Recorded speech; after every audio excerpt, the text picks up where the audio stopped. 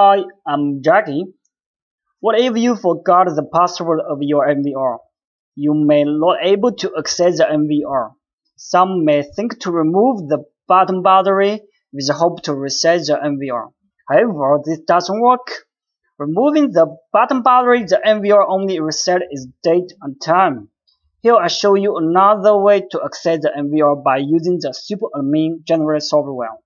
So firstly, we need to download the software. So we input NVR password reset keywords uh, in Google search and uh, we go to this web page.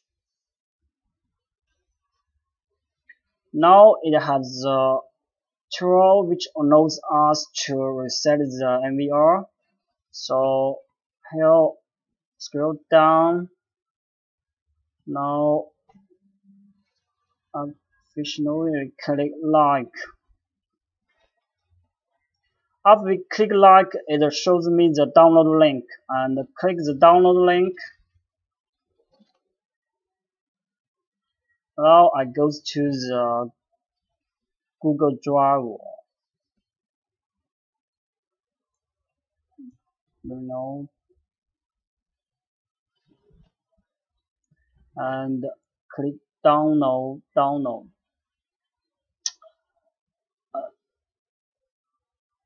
After we download the software, we just need to simply double click it to run it.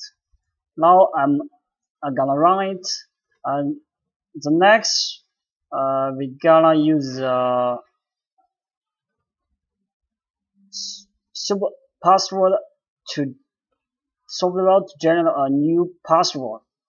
And the first one is the product serial number. We keep it as default. We don't need to change it.